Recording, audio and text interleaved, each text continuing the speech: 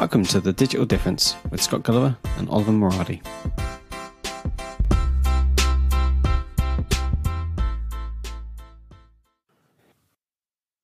Well, hello everyone, and welcome to episode nine of The Digital Difference with me, Scott Gulliver, and Oliver Moradi. How is it going, Ollie? Yeah, very well, Scott. How are you? I'm doing really good, thank you. Yeah, um, yeah, just just you know, busy, but the right amount of busy at the moment. Not too burnt out and overwhelmed, but keeping pretty pretty thick with it at the moment. Um, yeah, how about yourself?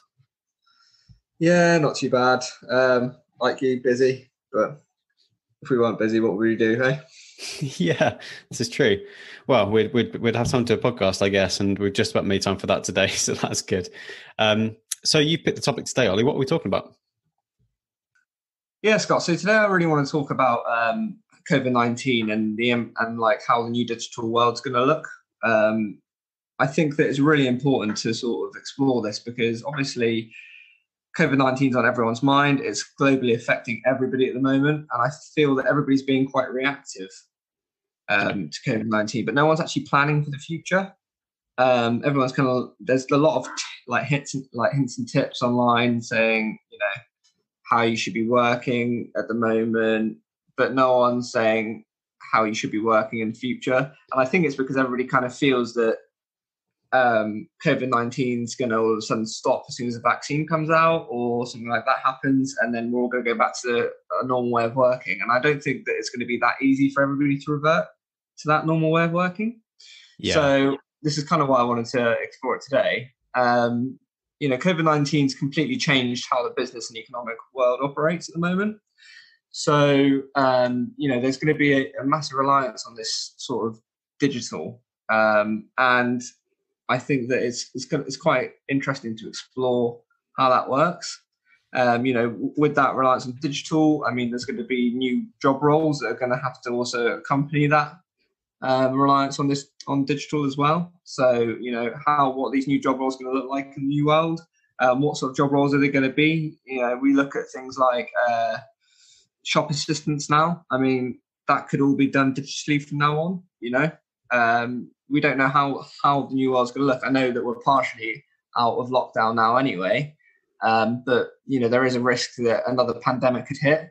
There is a risk now that um, we could go back into a sort of second peak or third peak, if you will. So you know companies now need to start looking at different ways of operating within this sort of reactive environment. Um, yeah, and like you said, it's um, you know everyone had to be pretty reactive at the start because it hit so quickly, didn't it? Really, um, yeah. or at least the, the full force of it did. Um, but it's kind of forced everyone through quite an, a period of innovation almost, hasn't it? It's forced us to try and act differently. And like you said, even if things do go back, I suspect that that there's probably going to be new ways of working that a lot of companies will adopt by default. Um, it's kind of thrown people into this, um, you know, working from home and being remote first and and trying this out. And for a lot of companies, I suspect they'll see the benefit of that. And we're already seeing lots of companies saying that they're going to just extend these practices, you know, for for a, a little while now. So I think, as you said, it's not going to be a short term thing, is it? Exactly, exactly. And if you look at it, um, you know, realistically, I mean, Google have already come out and said, you know, all their company can work from home. I know pretty much. I think Silicon Valley is going to be empty by the end of this. Yeah. Um, you know, because there's just no reliance on people. There's no need for people to be in the office anymore. The only reason why people do go into the office is for that sort of social connection and that um, that one-on-one time with um, with your team members and things like that. But I don't think that's actually needed anymore, realistically. Um, you know, we'll explore that a bit later on. Um, but you know, this kind of stuff it, it's just not needed. So um, there is sort of that that that new uh, reliance on digital, and it's going to be it's going to be quite interesting to see how these new roles will work around that a good thing about this is though, like small companies will be able to benefit greatly from this, and I think that's because smaller companies are much um, find it much easier to adapt to change, whereas sort of larger companies will probably struggle with it a bit more because they're kind of set in their ways, and it's much more difficult to change um, a larger company um, from from like the current operating models that they have and that they rely on at the moment. Yeah, we talked about this right back in episode one, didn't we? About how companies need to almost operate in this model of being reactive first, don't they? They need to have these plans because uh, you know the pandemic was a quite an extreme example, but there's always going to be cases where companies need to adapt. And like you say, the more the, the easier it is for a company to to do that, the better off they're going to be um, in whatever changing world we end up in. Um, yeah, it'll be interesting to see because it's kind of leveled the playing field in some regard, hasn't it? It's it's opened up lots of opportunities for companies who might have been struggling. Um, equally, you know, as we know, it's been pretty terrible for the economy, and lots of companies are definitely suffering. But equally, there there does seem to be a whole host of opportunity out there. It's just a case of um, of finding the way to to utilize that if if you can. Absolutely, and and this is this is the issue that I think that larger companies are probably having at the moment, and maybe even like the anxiety around larger companies is they've got these smaller companies who are going to um, like revel in this sort of environment at the moment because yeah. they're so adaptable to change, and there's going to be a lot of demand coming from new areas where normal companies are used to operating in certain ways, um, and it's going to be really hard for them to expand into these new areas. A smaller company can dive in there and all of a sudden take up that, all, of that demand. So it's um, again, it comes back to that sort of supply and demand again. Um, but these smaller companies probably have, um, especially within it, in the digital world, um, a much easier way of supplying. So um, and you know making that making that sort of supply personal and personalized. Um, I'm being very vague here. I understand that, but um, we'll kind of go into a bit more as we go into the podcast a bit. So, um, first thing I kind of want to talk about is sort of mm-hmm. the digital workplace.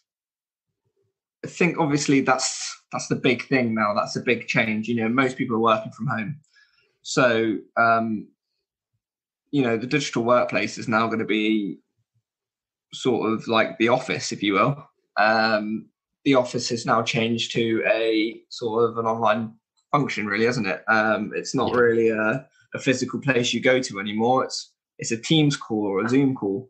So um, you know, this is this is I think this is really really important um, to sort of explore this this new digital workplace and how it's going to work.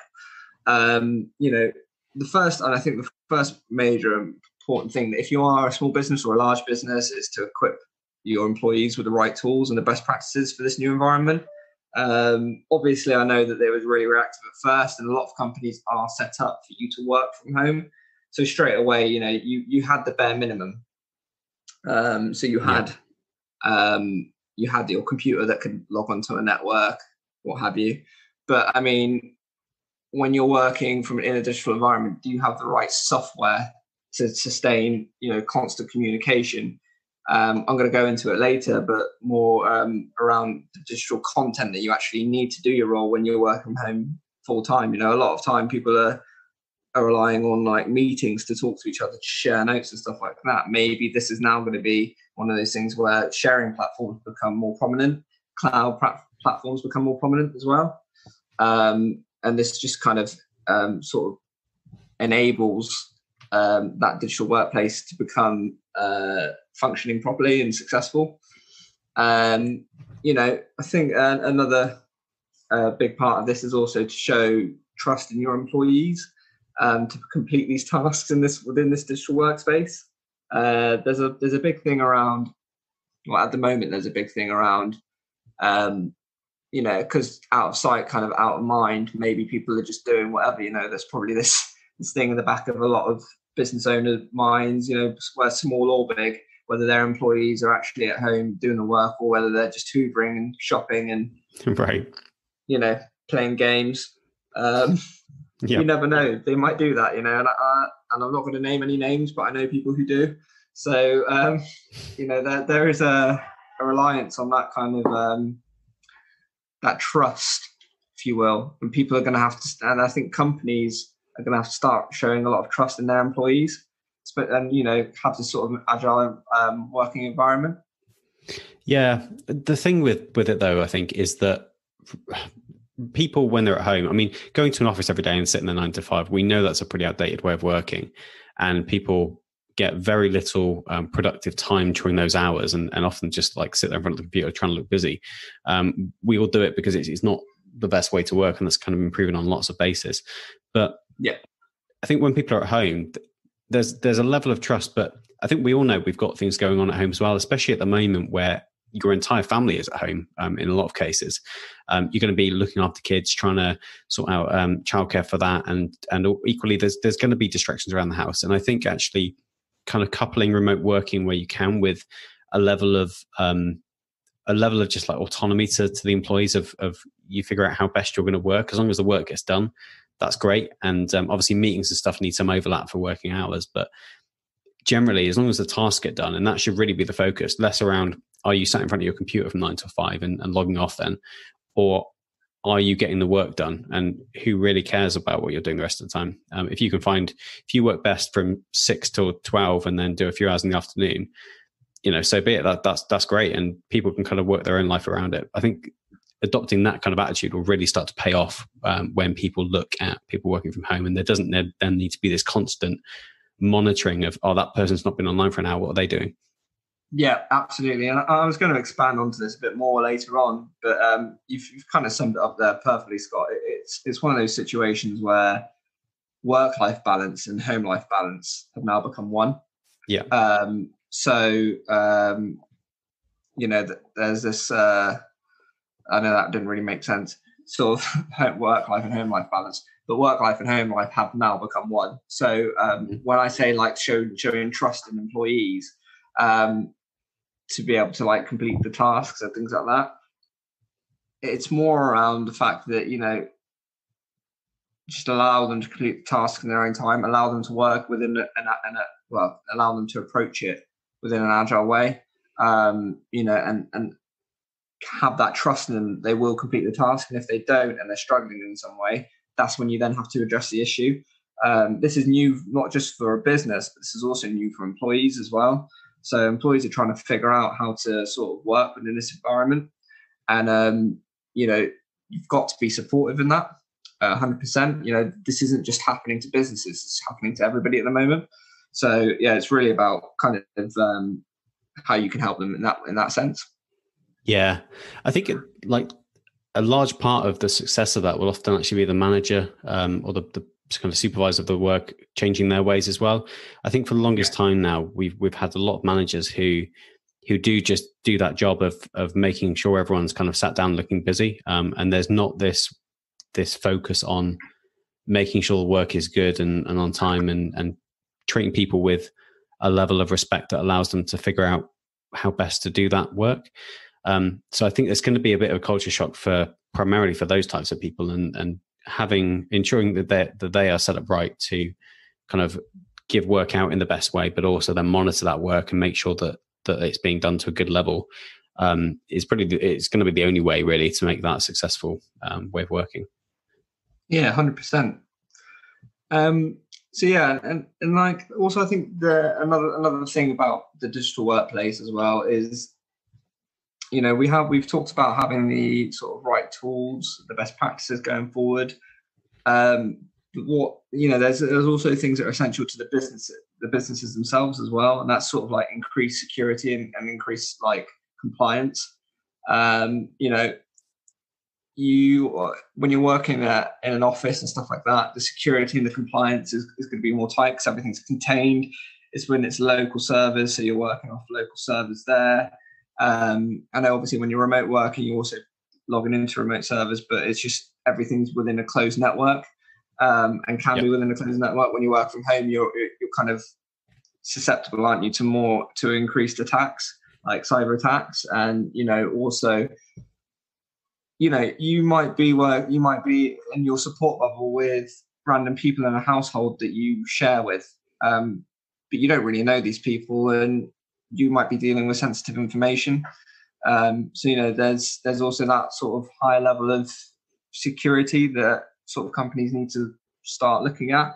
And this is all about you know working from that digital workplace. Is you don't quite know your company, you as a company, you don't know where your employees are and what they're doing. Um, so I think it's you you know what they're doing to a certain extent, but you don't know who's around them, um, and you don't know um, how they what sort of network they're operating on. You know, they might just have the standard um, broadband, which is absolutely fine for everybody, but it might not have the the, the best security. Um, you're you know, so there's a lot of there's a, for me personally, I found that I've had to work off my personal laptop a few times when doing work on my work laptop um, because there's certain things that just don't work from when you're working from home. Uh, and then this is again the company not providing probably the right tools and, and best practices for me. So um, I've had to find innovative ways, and with that, there's a security risk. So you know you do get these issues, um, and I think that that's something that needs to be stepped up almost immediately to ensure that your business is secure and safe online. Yeah, I think this is just where education comes into place, though, isn't it? And, and IT teams are, are great, are greatly positioned here to be able to to let the organisation know about how best to, um, you know, to make make sure that their data is kept safe. Um, yeah, that must have been a pretty interesting time. I, I I dread to think what must have, must have been going through these organisations who have a lot of kind of internal servers that no one can access from from outside of their, their network, and that must have been a nightmare for those companies. Absolutely, um, kind you of forced to that, get modern. Yeah, you got to think that a lot of people don't have access to the internet because you know they, they might do an admin based job, um, and all of a sudden they've been asked to to do that from home. So you know, there's all these uh, these permissions that probably need to be given. Yeah. Um, so yeah, IT teams almost immediately must have been under pressure yeah. to sort of like give the whole company this kind of, um, especially larger companies, um, these accesses and uh, these permissions. So you know, I, I, I, feel for IT guys at the moment. I really do. um, you know, uh, you know another another thing that's really important for um, the digital workplace, obviously, is increased communication. So you know, uh, team Zoom calls, team calls. You need, I think, teams don't have that level of social interaction that they should have, and I think it's massively missed from the workplace at the moment.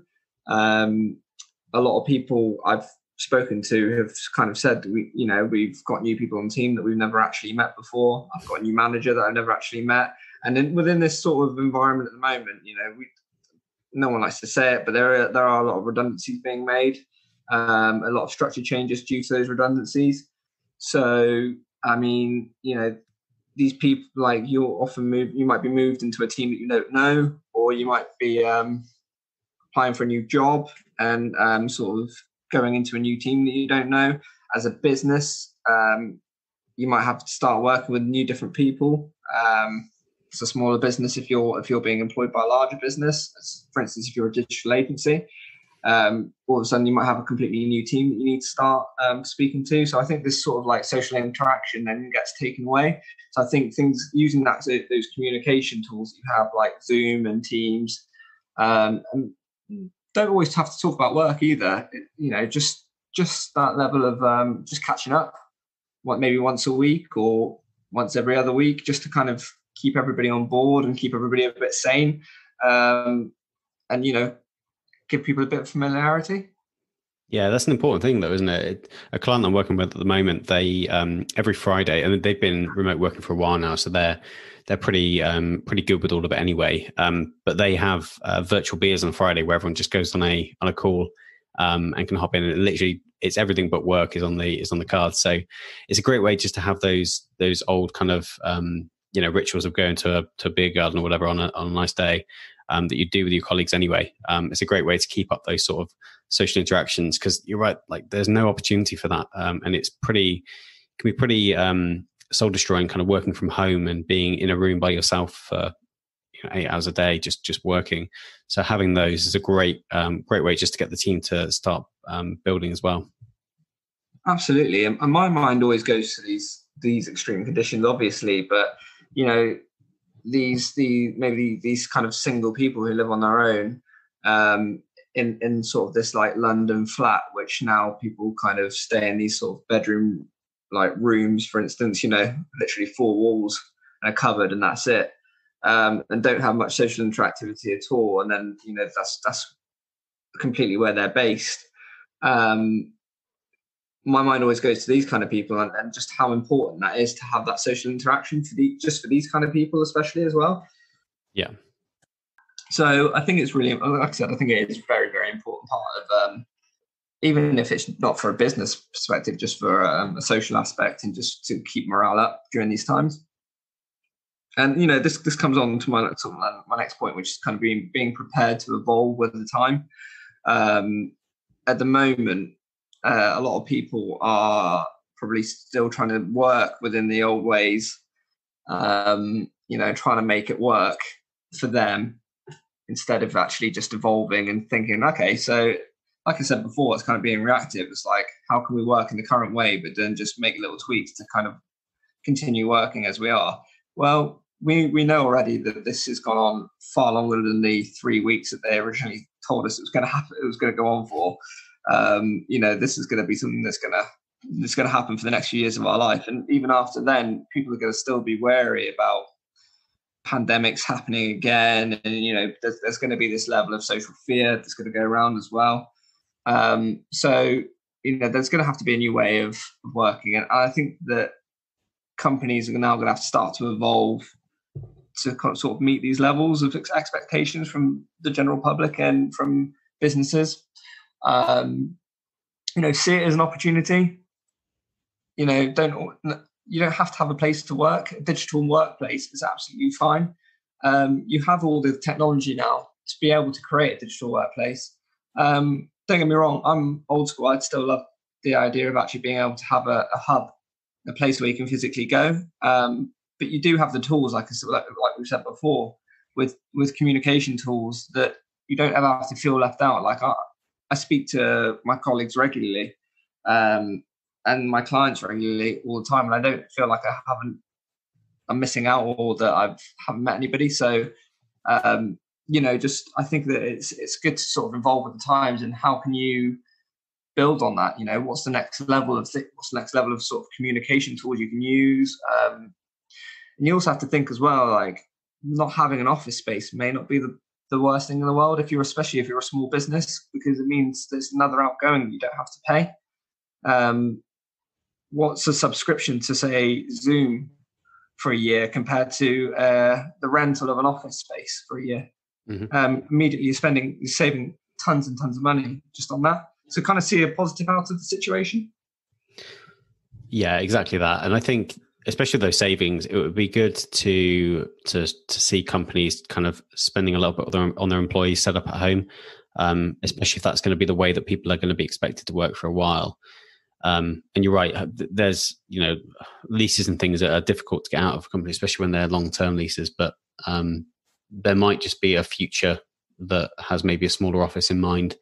Um, as, as you say, like I think a balance is good because I think especially within a couple of years, we're going to see the long term um, impact of some of this stuff. And I think everyone being remote for such a long time might have some long term impact, but it's going to take some time to, for a lot of companies to figure that out. I think getting a balance is right, though, isn't it? Because in the past, we've seen companies adopt this attitude of you can kind of work from home a couple of days if if need be, um, and th- those were kind of the companies that were right up there on the on the leading edge of this stuff. Um, you know, I've, I've, I've been quite lucky myself to have worked from home in in most of my jobs actually, um, but that's been right from right at the start where it's been. Yeah, you can work from home a couple of days a week. Try not to shout about it too much, and and if HR ask anything, you know, don't, don't say anything about it. Right through to um, you know, it, it's actually promoted that you're at home more than you're in the office. So there's definitely a balance for every company to strike. But I think having people working from home is hopefully something that companies will now see that works quite well, having been kind of forced through it. Um, and as we talked about as well, adopting that level of of just trust of your employees and, and letting them work around home life as well can be super valuable in making sure that that actually works long term.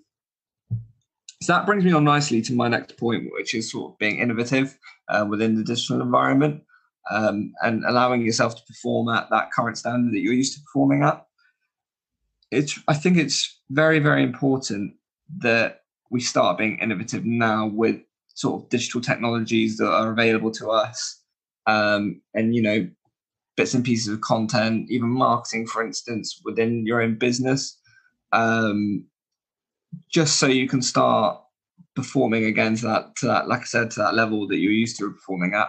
Um, there's there's loads of potential within the digital environment, so you may as well use it um, you know you can do so much more than just um, you know for instance if you've got like a, a, meeting at home i mean it was innovative just for someone to say okay well let's create teams You know, it's a perfect, perfect um, supplement for, say, um, an office meeting uh, in, a, in a room, for instance. It does everything you want, if not even more, because you can start adding digital features to it, like having little hands up to cut in on, on certain places, sharing documents real time. Um, you know, where you'd have to probably hand out notes in an office. I know not many people look at that, but you know, there's also the idea of getting things onto a projector, people having to sit far away. All of a sudden, everything's in your face. And it's at your own control. Um, people can feel more relaxed in this environment as well. So, you know, just kind of think of new innovative ways of using digital to sort of boost and enhance your performance at home. Um, and you will find that if you just put your, your heads together, you probably will find a few different innovative ideas. Yeah, things like just recording the meetings as well, isn't it? Like little tips like that are just yeah. give an extra bonus that you would have never had in a in like a physical space. But I think you're right. There's there's loads I think that people can do as well, especially for people who have suddenly been kind of thrust into the home environment, maybe in in home office. It's not really set up as well as it could be. Um, you know, there are tools like time tracking um, apps and, and various things like that that you might find useful just to find um, I don't know if it's know if innovative is the right word, but a, better way to organize your own time, especially in this new environment. Um, it's it's a great time just to kind of rethink how you approach everything, isn't it? You kind of, especially for people who have maybe gone through the day to day work and kind of settled in the way work kind of ways of working a little bit. Um, it's a great refresher almost just to rethink a lot of that stuff now that you're by yourself in an office. Um, but as you say as well, there's there's loads of stuff that a team can do, um, especially when you're thinking about developing something new together, um, about making use of new tools or new ways of doing it, or just a completely different approach to what you might have done before, um, based on kind of what you're seeing out there these days and the opportunities out there. Um, yeah, and I think that you know it's also quite good to we talk about innovation, but it's also quite good to sort of use tools that have been around there for a long time. Um, and that's kind of being you know maybe use cloud-based technology a lot. I know a lot of companies are using it now, but a lot of companies aren't using it, and a lot of companies still using old, outdated technology. Moving forward, start using um, cloud-based technology and and sort of like real-time file sharing really helps um, sort of keep everybody up to date and everybody together on the same page. Um, and you know, just instead of like you know when you'd be sitting in a in a meeting for instance and you'd be sharing ideas and maybe writing a few things down on a piece of paper and passing it along um, you know i don't know how people have different sort of like ways of working within office within office meetings you can completely do that on um, on these cloud-based sharing sites things like google um, you know what scott for instance we use figma don't we to design things mm-hmm. um, you know and that's sort of cloud-based sharing as well um, you know real-time design actually there. You can both go into the document design at the same time. So I think it's really, I think it's sort of really important to kind of use these technologies that maybe a lot of companies don't actually use at the moment. Start there's a lot of there's a lot of content out there that people can use. So just go out there, look for it, and bring it in.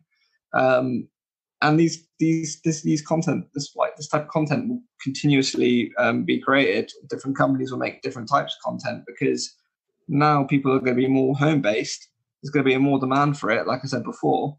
So, you know, companies going to be supplying more of this kind of content. And there are loads of hidden benefits as well for some companies for using kind of collaboration based software. So I'm thinking specifically at the moment for, for like our agency, not only do we get to work remotely and work effectively on the same design or um, or doc or or idea or you know go on a virtual whiteboard or whatever, you can then extend that to other companies as well. Um, so even if you used to be based in a physical office and might be going back to that sort of environment, it's you know it's great technology anyway to adopt just because it's so easy to share around with the other companies and, and people that you need to collaborate with. Absolutely, hundred percent. So I kind of want to I want to kind of go f- and talk about like the agile side of things now. Um, okay. And in agile, the way forward within this digital world, um, I completely believe that is and we spoke about it before, Scott, briefly, and I, I just want to touch on it again um, it, about this sort of work-life balance, if you will. So, kind of getting that home life and work life, and now they've become one. Um, it's going to be very difficult to, for especially for people with children, um, to sort of be able to operate effectively in this environment. Mm-hmm. So, you know, with um, people constantly trying to have to juggle work and like home life simultaneously.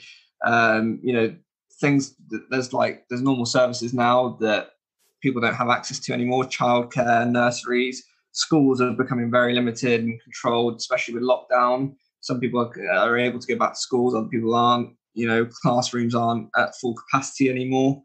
Um, and I think they they've got varied hours when kids go back to school. Some schools are open, some aren't. So it's very, very different for everybody. And again, we're working in a reactive way, but how can we go forward and work in a, in a, in a better way and work in a, in a more productive way? And I think taking agile on board is probably the best way of doing it, of, of kind of at- attacking this and, you know, approaching this, this situation. Um, you know, people need to work in an agile way constantly to support their home life. And, you know, it, you can't tell someone they can't look after their kids when they have no other option. So um, how are we going to go forward and sort of help help them out with this? And I think that you know just allowing that sort of freedom within um, work hours probably works best for everybody at the moment. You know, not everybody has to work a nine to five. Some people can work nine till um, to 11 for instance and then you know they can have that three hour period where they can focus on their kids. And then you know partners can switch in and out and help each other um, and you know just work effectively around each other. So everybody's kind of think about it everybody's working with everybody in this situation. It's not just people within a within a business. Yeah i i mean the past few months for companies with um you know with everyone at sorry for for people with everyone at home um, especially with kind of children in the mix and, and that sort of stuff must have been must have been super hard. I think you're right, like adopting those agile that agile mindset, not in just the way that people work, but also maybe the, the work itself. Um, I think is pretty pretty valuable for a lot of a lot of people here. So we've already talked about kind of having limited time in between, and you might not have, say, a four hour gap to to really focus on on deep work. And for some people and some companies, that's still required. But chunking up the work into much smaller pieces might allow people to kind of drip feed and complete tasks when they need to. Um, and the other thing that, that certainly I've struggled with being at home uh, for, for quite a long time now is just energy. You know, even even if I do have the actual time to sit in front of my computer, often it's just quite demotivating day in day out. And and I notice my energy really suffers in that, and I find it hard to kind of get on with tasks. And again, it's hard to sit down when you've got very little focus and energy, as a lot of us will have when working in home offices and look at a, a massive task and, crack, and, kind of crack on with it and get it done. Whereas if you've got small little achievable tasks that you can just check off and get a few wins out of the way, um, that's a much better way usually of kind of getting through that work and, and actually getting some motivation. So not only adopting that, as you said, that kind of agile mindset of, of how you work and, and kind of making things uh, things flexible and flow based on the situation, but also adopting some of the the kind of work principles behind that of just chunking up work into small pieces, um, time bounding them, and and kind of having a team that can all work together to attack them might be really useful. Definitely, definitely, and you know having things like fixed hours, um, different schedules, uh, different timelines, um, you know, just allowing people to become more adaptable. Yeah. Um, for their working at home lifestyle, um, I think that that just kind of really helps everybody. Uh, you know, mm-hmm. think maybe maybe companies need to sort of look at bringing in more resource. For instance, I know a lot of people are actually making people redundant at the moment, but that might not be the best approach at the moment. Maybe, for instance, parents might want to do less hours but across more days. So you know, weekends might actually start becoming working days for people who have kids, for instance. You know, if they want to do more hours, or maybe people want to do maybe a later shift within the day and yeah. then if there are there is that need for a resource during the um, during the uh, an earlier time in the day, you know, and you're getting another person to kind of do that, and it might start making people become a bit more productive. And yeah, so there also might be um, room for resource for these smaller companies and, and, even bigger companies to start bringing more people in, um, you know, to support their permanent staff and their permanent employees who might have to actually balance this sort of work life and home life um, and get that sort of good balance. So, you know, maybe uh, a permanent employee might be better or more comfortable doing later hours in the day, but you might need someone to cover earlier hours during the um, during the morning, for instance. So, you know, that's where contractors come in. You know, they can you know, charge maybe a, a um, at a lower rate for um, an hourly rate, for instance. So, you know, you're not paying the full day rate for a contractor, you're paying an hourly rate for them to come in and do a certain job just to kind of support um, that permanent employee, but equally probably increase productivity because you get more work done. Um, you know, and you're allowing people to work when they're comfortable. And this this actually might be more beneficial in the long run. That it might actually help people become more productive in their role. And it might also create a better output for you and for the business.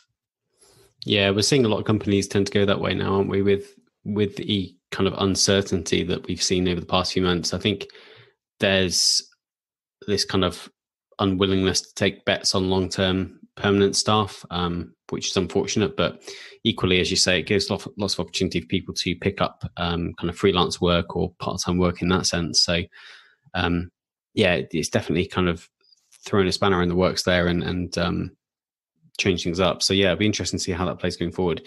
And I wonder if, you know, again, agencies are, it's a great time for, for them to be operating, right? Because again, they're, they're able to give pretty flexible work and attack those smaller bits of, of work on probably something that looks more like a fixed budget. Yeah, definitely. Um, you know, they can provide a service to get the job done, basically. So you go, you can get you get bigger. For instance, for bigger companies, this might be ideal just to bring in an agency to kind of say, right, um, we need sort of um, we need this task done.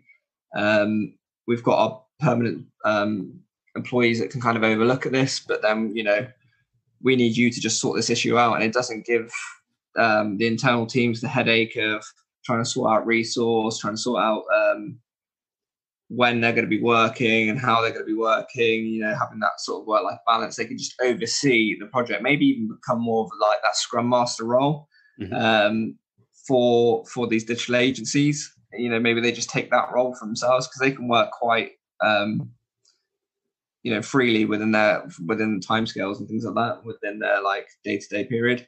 So um, you know, then it's up to the digital agencies to bring in those contractors who they usually have that kind of resource on hold, and you know they usually have a pocket full of contractors to sort of pull on as and when they needed to.